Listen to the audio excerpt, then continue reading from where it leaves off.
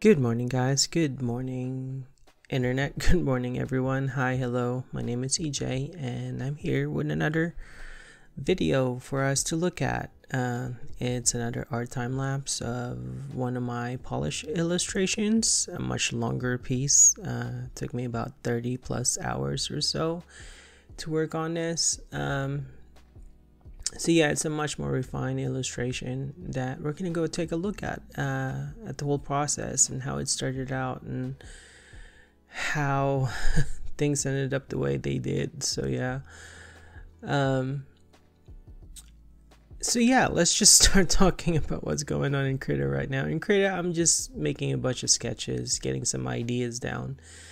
Uh, the first few seconds just went by real quick. It was like a 30 minute session of me just randomly sketching things. And um, if you rewind back, uh, you'll see that there were two thumbnails that I did on the far left, and one of them was this ice cavern.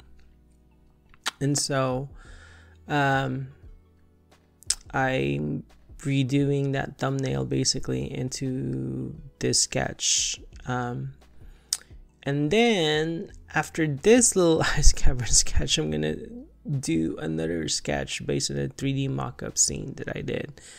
But before going on any of that, I really just wanted to make a note out make a note of the idea behind the illustration in the first place. Um, just to preface and without going too much into details about what my idea was and how things evolve and all that stuff. Um, I, I just wanted to make note of the, the prompt because I'm actually doing this illustration for another challenge prompt from conceptart.org way back in the day. I think this was in 2018. I could be wrong. Uh, yes, 2018. Um, it says it on the very top 2018 0621.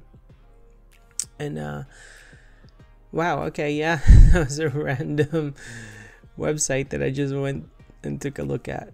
That was actually textures.com. Love that site. It's a great resource for textures. Um, I should have edited it out, but it's okay. It's just, you know, a simple website.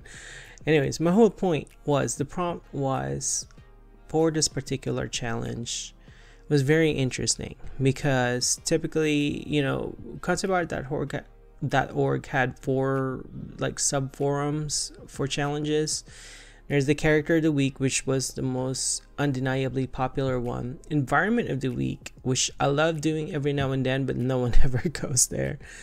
Um, and character, or not character, but creature of the week, and no one ever visits that forum too. From what I remember, no one wants to join the challenges and knows. Um, but anyways, it was a combination challenge from Creature of the Week forum and Environment of the Week forum. And the challenge was to create a guardian of the armory. That was the prompt. Um, so basically, there's this amazing guardian who watches uh, the weapons of the soldiers. Um, now, I'm gonna go talk a little bit about some of my ideas and how my ideas just totally went far left field amazingly far left field.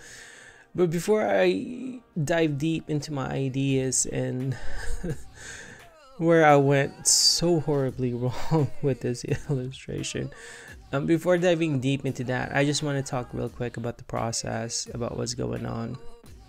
So typically when you do a much more developed and more refined illustration, um, it's always better to make sketches, tons of sketches before beforehand just to get some ideas on what to do.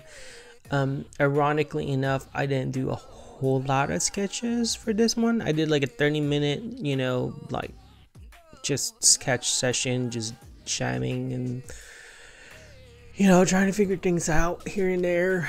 Uh, but I didn't really develop them except for this one. This one was a sketch that I developed, which I really like this piece, you know and uh, it would have been interesting to have developed this one, but unfortunately, I didn't feel like it really went very well with the prompt because, you know, armory tends to indicate, you know, a weapons cache, cache, C A C H E. I think I'm mispronouncing it, but it's supposedly uh, an armory is predominantly a place where uh, you store all your weapons, you know. And so the idea I have for this ice cavern is that these little um, technological things that has wires going to it, like the idea behind it is that there's like a weapon hidden inside one of these uh, uh, technological things, and it needs to be frozen. So like my idea was basically like uh, like a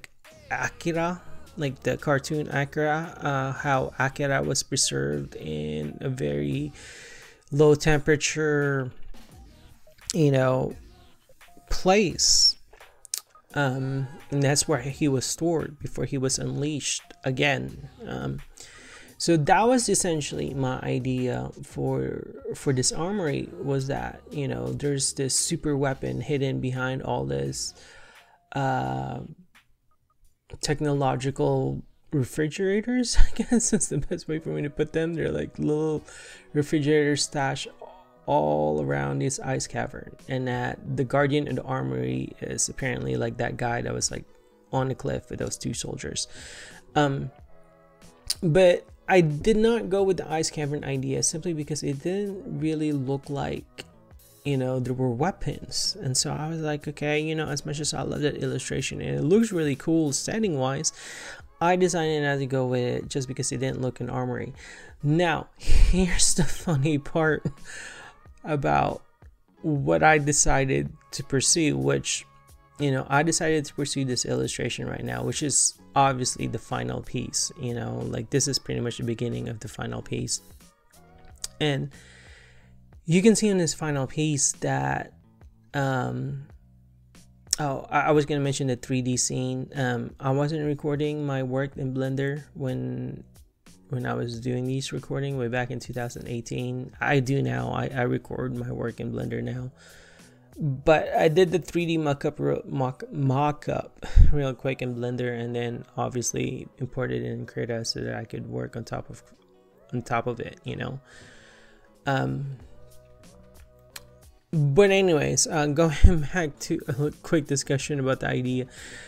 So where I failed in this illustration is that it's supposed to be an armory and armory is supposed to be just weapons you know? I mean back in the day it would have been your sword your shield and your armor.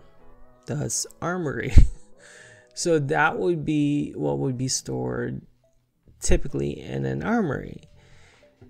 Um, somehow though, I decided that I was gonna do a motor pool, uh, which is a totally different kind of storage facility. A motor pool typically indicates a storage place for vehicles, and so I was like, you know, I guess in my head, I thought like, you know, storing a bunch of tanks and a bunch of robots, because you gotta have robots, because I love robots. but, you know, giant mech robots would be like an armory. But in the end, I just realized, wait, like, this was like halfway through, like, doing this illustration, right? I was like, yeah, and this would make a cool armory. And then I realized, wait, I didn't do an armory. I did a motor pool. So yeah, it was like a total misunderstanding of of the original prompt and the images in my head just did not really go well with the prompt which happens you know i mean i think it happens fairly frequently. You know, uh, an artist would get a prompt and they would misunderstand it and draw something else. And so this is just one of those things where I misunderstood something and I drew it a totally different way, which is really cool though, because even though it's a mistake, right? In, in a production setting, yeah, that would be kind of costly because then I would have wasted a lot of time doing a cool illustration uh, on something that's not going to be used. So yeah, that would be costly in time.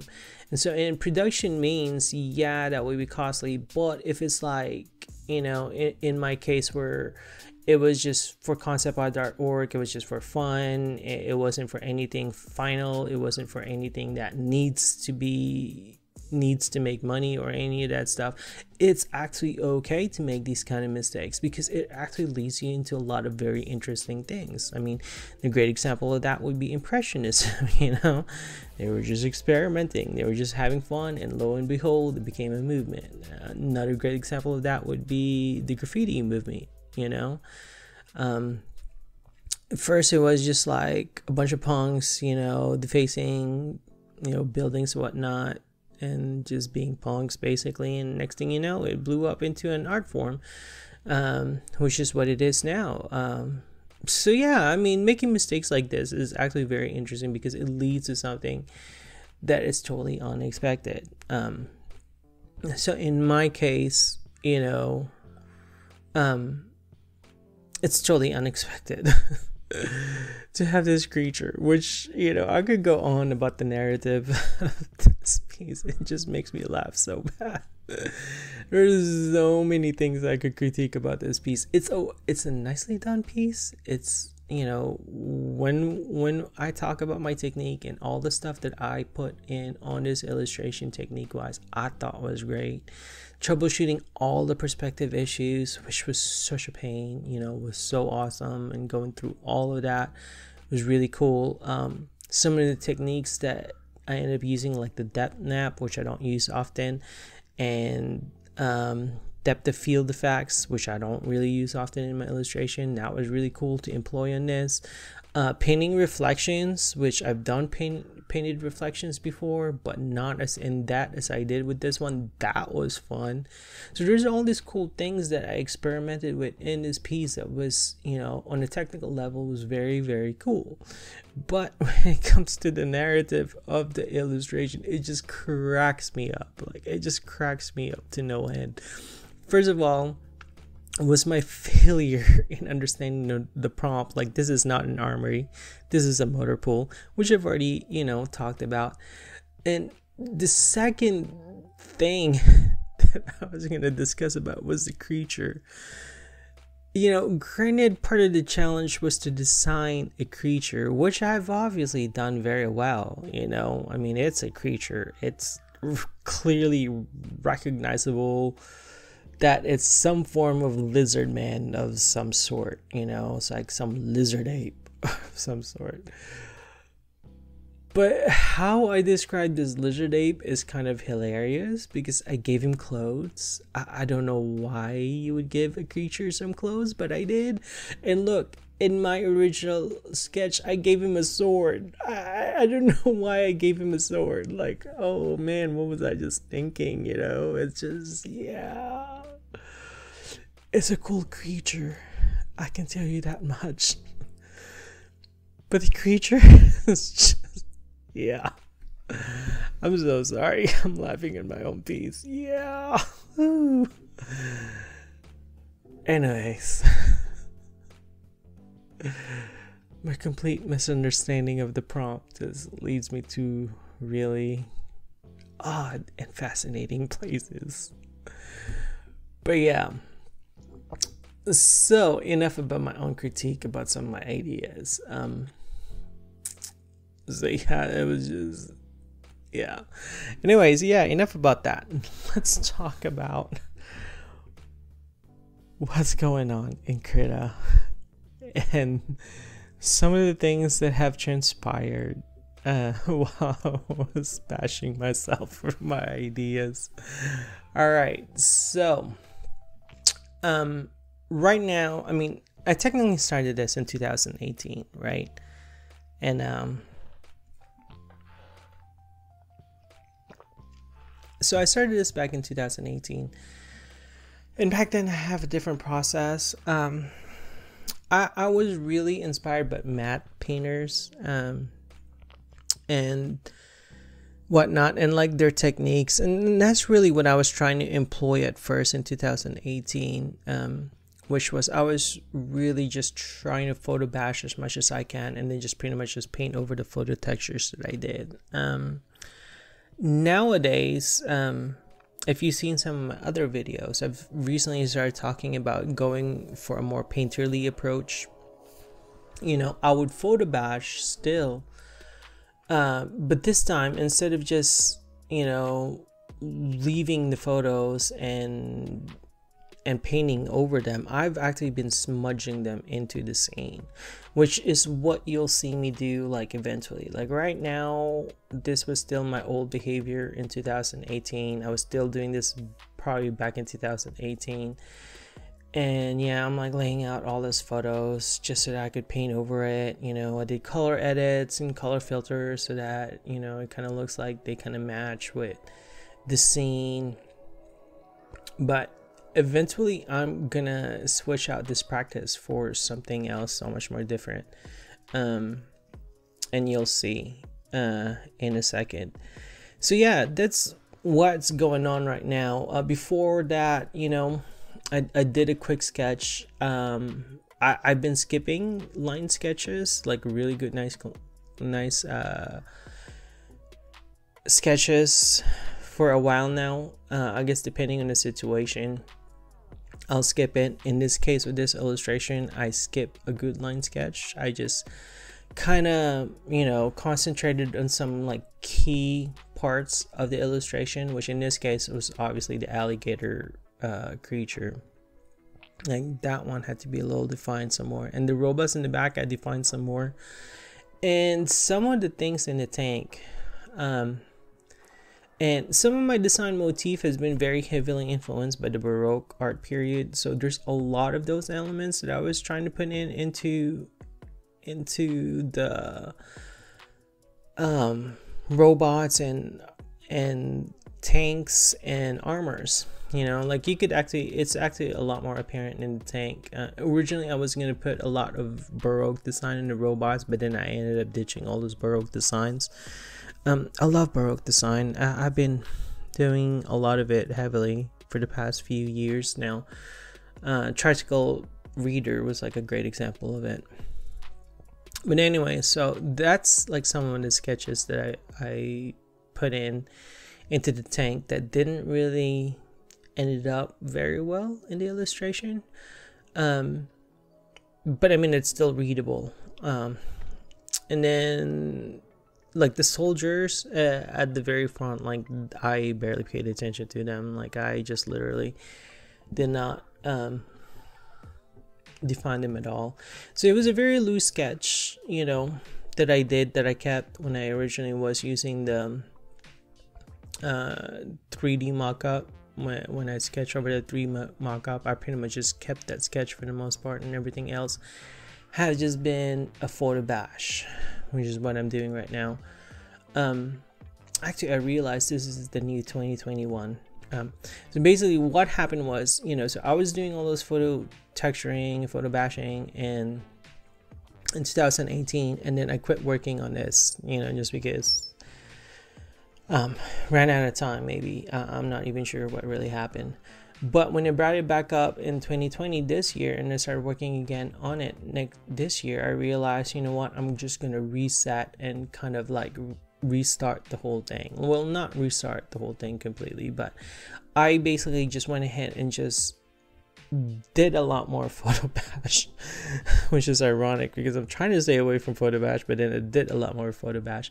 And but anyways the reason why i did a lot more photo bash was because i do the smudging technique now which i really wasn't doing before which the whole idea behind the smudging technique is to put as much visual information as I can on the piece and then smudge them so they kind of look like painterly, more painterly, you know. So you can see me working on the background and the robots right now, and you can see me smudge everything, and it looks a lot more painterly than the original photos. And so that's the reason why I went ahead and you know, put in some more visual information because I knew eventually that I was just going to do this smudging thing so I could just have this one base layer for me to paint on. And so that's the reason why I did another round of just crazy photo texturing just because I knew like a lot of those details are going to go away because um, I just needed a base paint, you know, something that I could just work on. And so pretty much this is it. This has become my base paint right here. Um, this is eventually what I'm gonna be working on detail wise um, and yeah this is pretty much just set and whatnot. So yeah um, the next few things that i'm gonna do are just some of the edits that have been suggested uh, for me. Uh, like somebody uh, Skye told me that i should dim down the tank on the far right and just really just focus on the alligator dude. And so that's what what those light edits were. Um, and i totally forgot i did this where i did a quick sketch of the background just so i could define it some more the background was getting really problematic. People were so confused about what was going on in the back. And the reason why I did a lot of photo textures on the back was because you saw like if you go back if you go back in time and watch the earlier parts of this video you can tell that the robots look kind of like bare or naked or like they're just kind of just standing there. It doesn't look like there's something there that kind of connects the robots to the space, you know? Like I- am thinking of like Pacific Rim and like the storage of those giant mechs that they have. Um, you know, there's all these structures around them. I'm also thinking of like, you know, uh, NASA and how they store their space rockets and space shuttles. You know there's all this um, uh, structures around it. Um, and so that's kind of what i wanted to put in because it was kind of like naked in the back. Uh, so i you know photo bash all those nasa pictures which you just saw not too long ago and you know smudged them around and when i did everyone just got confused like they don't know what's going on in the back they thought they thought the two robots were like doors or something they thought it was like a big, huge door. So going in into this detailing process, like I knew that was going to be a problem because I was like, oh man, you know, everyone's just so confused. And so that's when the idea hit me to do the depth map and depth of field effect that I'm going to like work on like in a little bit. Um, just so that I could fade out the background. Like I knew I wanted to keep the robots because they're there. Because if I take them out, then it's just going to be completely naked. So I have to put something there, which was the robots. But I couldn't leave it just as the robots because then it just looks so weird. So I had to do the scaffolding, you know. So because that's kind of like the idea behind all those buildings back there is just to be like scaffolding of some sort. Um, so I had to keep it there. Um, and yeah i was worried about like defining all of them. And real quick i had to bring back my old 3d blender file because i needed some perspective guides. And so i basically just added a bunch of perspective guides for myself just to kind of understand what's going on in the back because somebody made a comment about it. You know those windows to the far left were just confusing them so much that they couldn't understand what was going on. And so um basically I had to, you know, bring back that old 3D Blender file just so that I could get um, some good perspective guides and brought that rendered image back into the illustration just so that I could, you know, redraw some guides, which is what I'm doing right now. So basically my idea was to take out the windows because everyone was confused with the windows, put in some more scaffolding, which is what I'm doing right now. I'm trying to photo bash real quick scaffolding in um, just to kind of help out with the perspective. But in the end, I just decided to just crop this whole thing out because it was just getting way too confusing. So, yeah. But, anyways, so yeah, that's so far what has gone on. Um, there's quite a lot of like technical issues that I kind of ran into, which you will run into when if you start doing long illustrations, it just gets really problematic at times because the more you details you add, the more you kind of had to balance it with everything else that you've done beforehand. And so once you start proceeding into like longer illustration work like this where you pour in like 30 50 100 hours it's all just a constant battle of balance you know where you know you take some stuff out because you know the stuff that you have recently pull it, put in doesn't really go well with the stuff you have put in before so you take them out.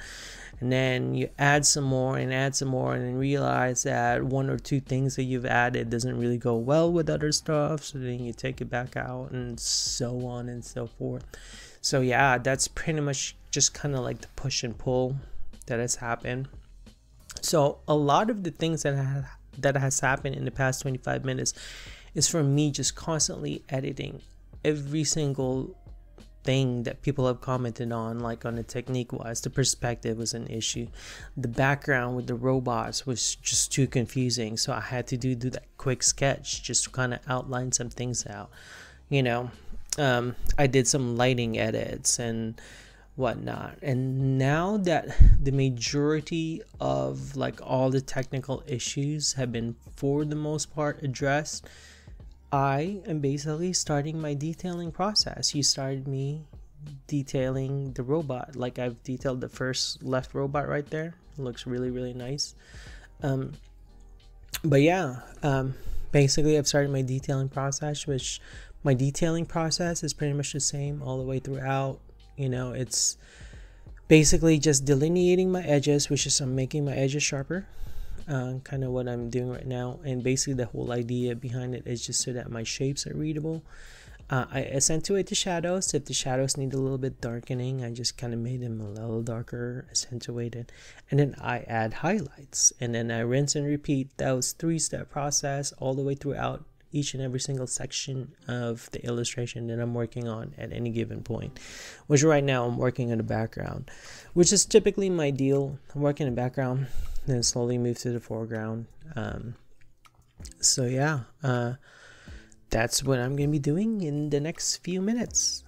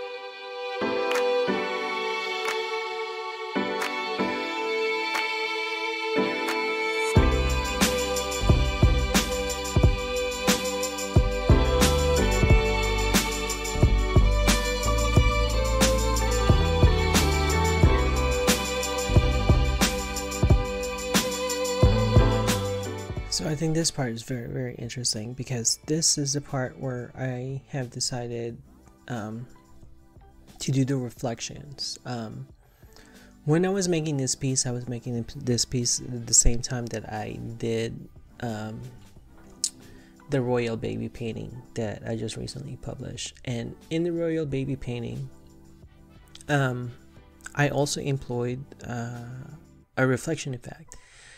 Now, on that particular illustration, I didn't have to, you know, paint the reflection as much. I didn't have to go into a whole lot of detail with the reflection. And the reason why was because the floor, the reflections were on, have a pattern to it. And so I knew that even like doing like full details on the reflection wouldn't matter as much because the patterns on the floor is just gonna obfuscate it, right? And so I, you know, the reflections in that particular illustration was just very easy, was very easy to do. You know, like it wasn't as uh, daunting as I thought it was going to be. You know, it went by, you know, fairly quickly for the most part. With this particular illustration, though, since there's no patterns on the floor and it was just, you know, a plain color, I have to do a lot more work than I thought I was needing to do. So, um, the part that you saw was just done very quickly because I was just needing like a kind of like a fill in because I knew that eventually I was going to work on it, right? So I, I just needed some like rough shapes and just some rough idea and some rough looks. So it was like an hour's worth of work, you know. But in the end, you know, I, I put in rough shapes in an hour, and originally I thought, oh, I'm just gonna paint reflections for just an hour and get it knocked out. I was wrong. I ended up maybe spending like three sections, three sections, three sessions on the reflection, um, just to fully detail it out and just to make it look good. Um, the ironic thing about reflections though is that reflections on floor is really tricky um, because there's parts of it where it's fuzzy and there's parts of it where it's clear. Typically, the closer it is to the object uh, that it's being reflected on, it, it's clearer, and then the closer the reflection goes towards you, the viewer, it gets fuzzier. So it's really hard to explain. Um, and right now, I'm working on the depth map which I'll talk about in a second. But but going back on the reflections, the simplest way of explaining it would be if you were to imagine the two robots on the back right now, which is what we're seeing, right? Um, their reflected legs would be clearer, while the reflected body would be fuzzier, and that's just the way it works typically with with reflections. It it gets fuzzy towards like closer to the viewer or like towards the bottom of the image. I mean, it's kind of hard for me to describe where it would be, but I, I think you kind of got the idea. Um, so yeah. So that was something I had to pay attention to and to concentrate on when I was working on the on the reflections. Eventually, like towards the end, when I started to detail it, I had to start paying attention to which parts I can detail and which parts I can and leave fuzzy. You know, uh, like the rough out sketch. So that was like a challenge. Um, the other challenge that I thought was interesting was, was the depth map. I've seen people employ it before. I think I might have employed it once or twice in an illustration, but not to the certain degree like I did with this one.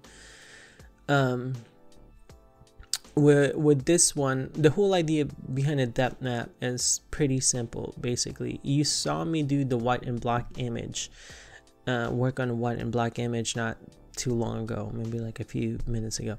Um, the idea is basically you take a copy of of your photo and or your image, right? Um, so you basically kind of like you know take a copy of it, and then you blur that copy out and then you apply a transparency mask on that blurred layer because when you have that blurred layer everything's just blurry and nothing's clear yet all that stuff right so what you do is basically you take that blurred layer, apply a transparency mask on it, um, so that some parts, there it is right there. I, I was just turning it on and off just to see what the effect would look like. Um, but the transparency mask will have some of the blurred parts showing and then take out some of the blurred parts. So in the case of the blurred image, right, where everything was blurring, the white parts would be the parts that would stay and then the black part would be the part that gets taken out. So you take that blurred layer and where all the black parts are, it would be taken out. And so what ends up happening is the bottom layer where everything is clear uh, will end up showing through. And so that's how you basically create this depth of field effect. Um, and again, like I mentioned, my original intent for the depth of field effect was to kind of hide the messiness of the background because I didn't know how the background was going to turn out. I didn't know if it was going to be too busy.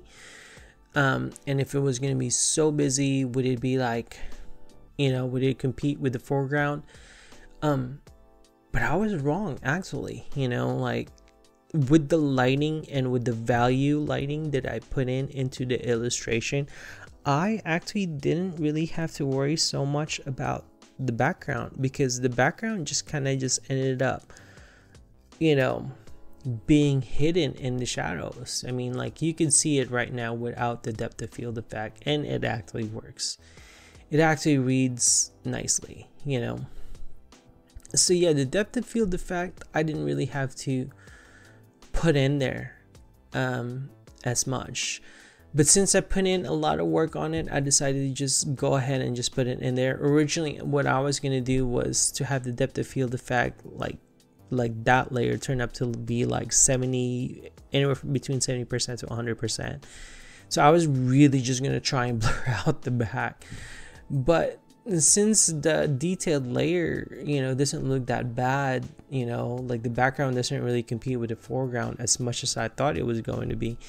Um, I decided that I was just gonna turn down that that blurred layer to like a 50% transparency, you know, or maybe even less. I don't even remember how much I turned it up to. But in the end, like the depth of field effect, I didn't make it as pronounced as I had originally intended it to be. So that was like a good thing because then you could see um, the detailed layer more. So yeah. Um, so those were interesting things, interesting techniques um, that I employed in this illustration that I don't do often enough. Uh, the reflections, uh, much more detailed reflections, as well as the depth of field. So yeah, that was very very cool. Um, right now, what's going on right now is that I'm photo bashing uh, some more details onto the alligator char- character creature because um, I, really wanted to do matte painting style, where instead of smudging the photo textures, I ended up keeping them just so that I could paint over it. Um, because that was another technique that I was trying to do. You know, like I was afraid if the background got too busy, that I really need to push all the details into the alligator just so that it would take away the business of the back. But again, like I said, I didn't have to worry so much because the value pretty much took care of it you know with that light just on that alligator dude you know being part on that alligator dude it just kind of just put everything else you know around the illustration into quiet mode you know? So yeah. But yeah those were some of the interesting techniques that i employed in this illustration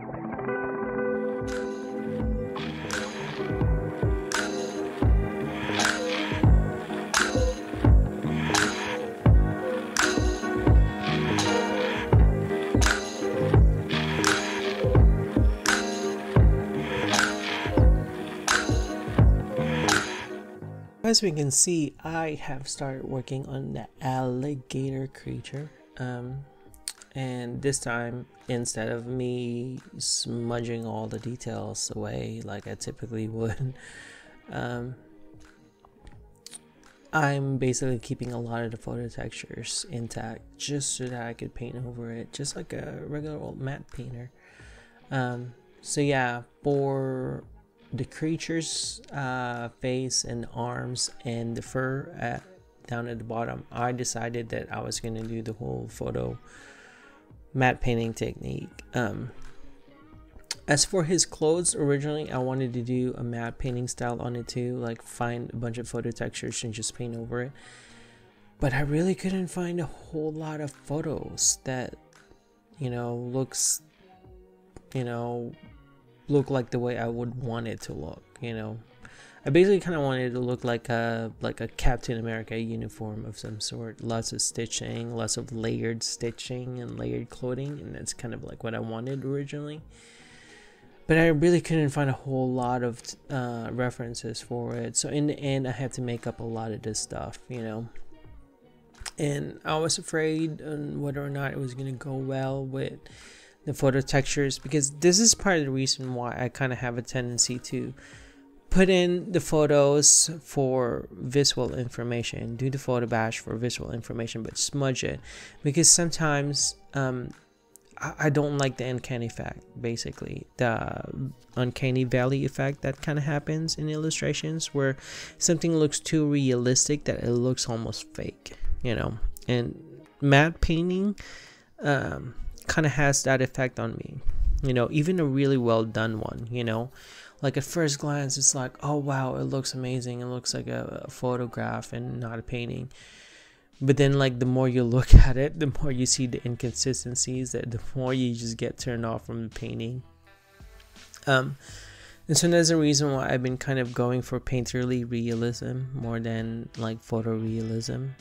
Um but yeah, I, I was afraid that my, since I was gonna just paint the clothing, which again, like I mentioned earlier, I just I don't understand why he's wearing clothes.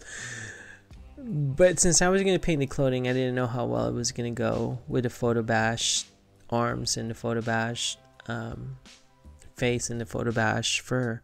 But in the end, since I painted a whole lot and I painted on top of the photo bash a lot a lot more than i expected. It ended up going very very nicely. Like for the most part the only photo textures that pretty much got left intact is like the bottom of the alligator's face all those scales. Drawing those scales individually would be so daunting. It would have taken forever if i was to draw every single one of those scales in but literally like that's about the only photo texture that is left out of this whole painting. Um, the top of its face like i kind of painted a whole lot more on top of it. Um so yeah uh, literally that's pretty much the only thing that's left. And the fur too actually because I, I don't really think i messed around with the fur as much. Um or maybe i did paint a whole lot on top of it. Um yeah, I think in the end the fur became a lot more painterly than photorealism. So yeah, I, I think I am right. The, the, but the only thing that ended up staying photorealistic would be the scaly parts of the alligator. I, I realized like the back part of his arms too, like I kept intact as much as I can, just so that I could have all those scales in. But yeah, as you can see, like the fur ended up becoming more uh, painterly as you can see I'm like putting in a lot more paint than I did compared to the face. Uh, so yeah. But yeah this is this is really interesting to make note of because I you know at this point in time I thought I was really done with the illustration but I was so wrong um, because literally in the next 10 minutes what we're going to be watching me do is just me pretty much just working on the reflections and the depth map. Which again I've mentioned I thought it was gonna go by so much quicker but I was so wrong. I totally misjudged the time. But yeah I mean looking at this piece and looking at that illustration it looks everything looks complete. Everything looks detailed. Everything looks nice.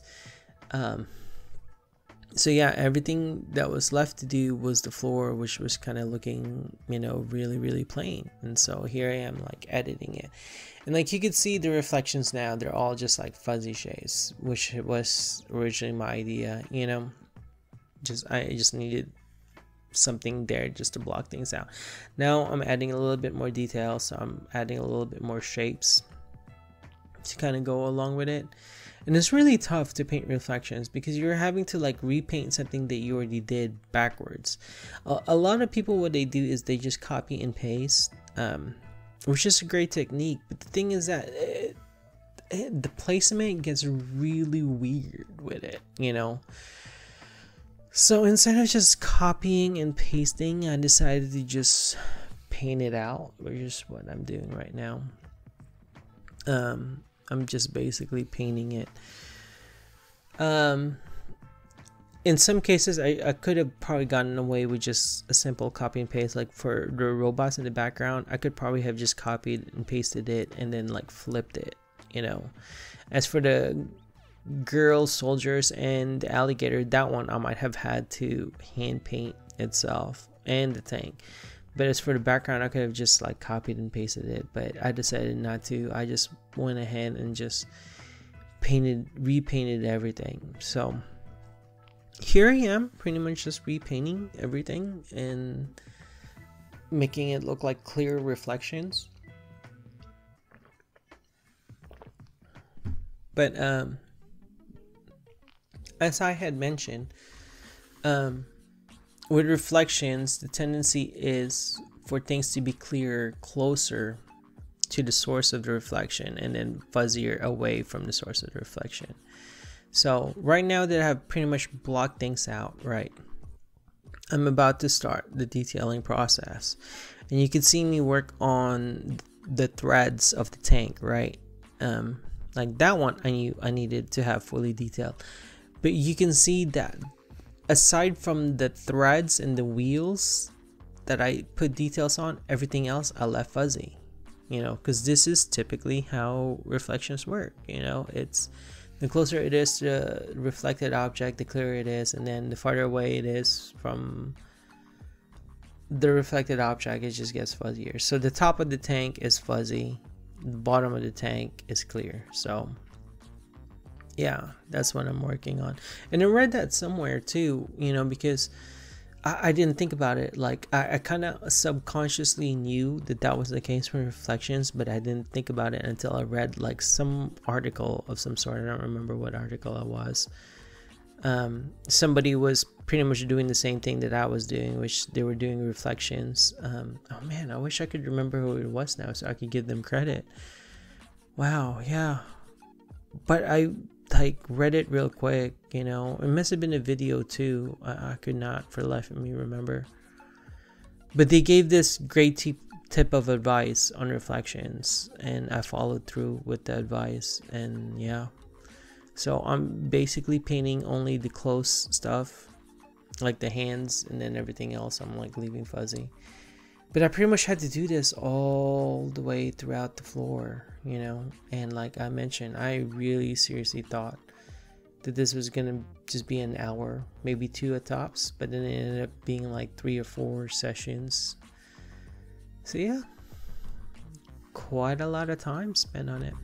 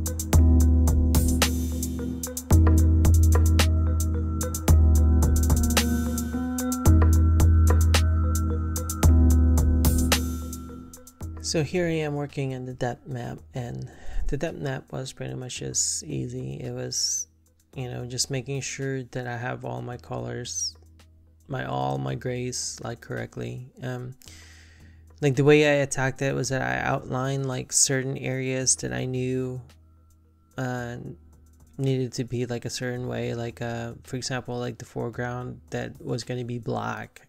Uh, I kind of marked out where they were going to be black, and then the rest of them, you know, I kind of section off like areas of the painting where I was like, okay, well, this area is going to be like the fuzziest, and then this area is going to be the next fuzziest, and so on and so forth. That's why you saw me kind of like do outlines. So yeah, but yeah, after this depth map, um, the last few things that I did were just a few edits uh, based on critiques and comments that I got. Uh, from Sketch Zone and Sketch Bandits, which the comments were pretty much like um, somebody mentioned like the windows on the back was too bright, so I dim it down. Um, and then uh, I move the soldier, the soldier on the left. Uh, somebody mentioned like she needed to be a lot closer to the group, so I kind of moved her. Uh, and there were some uh, comments about the background too, but I, I for the life of me I could not remember um, what it was. But yeah, like the windows were just commented on because it was too bright. You know, they felt like it, it needed to be a little darker because it was competing with the light on the alligator creature, dude. Um, but yeah, this illustration was actually very, very fun to do. I mean, honestly, and it came out a lot better than I thought it was going to be. Aside from like the the weird inconsistencies in the narrative of the illustration, like I yeah, the alligator dude, like I don't I don't understand what's going on there. You know, I mean, I was fulfilling a prompt which the prompt was that it needed to be a creature because it was part of the creature of the week challenge, right? And so the guardian of the armory was supposed to be a creature. So I came up with a creature. It's right there, you know. Um, but since like in the end, this illustration just became like a personal project. It just, you know, I could have thought about changing the creature into like maybe like a mech robot or something but honestly, though, that creature dude is cool. so yeah, he's a one cool looking creature. Even though people are probably gonna ask, why is there an alligator in this picture? They're probably gonna ask that. But he looks cool, okay? So he needs to exist. so that's just about the only thing I can say in defense of this illustration. So yeah. But anyways, this illustration video is about done, somewhat complete. I am so glad you guys had watched it all the way throughout with me. Um, and I'm hoping that you guys learn a thing or two because this is the reason why I do this video so that you could you know join me in making fun of some of my art processes so yeah i hope you had fun with me making fun of my artwork. so yeah. But really, honestly though, I hope you did learn a thing or two and you know picked up a technique or two. So yeah. Anyways, I am so glad that you watch it all the way through with me. I will catch you guys in the next video. Like and subscribe. Good night.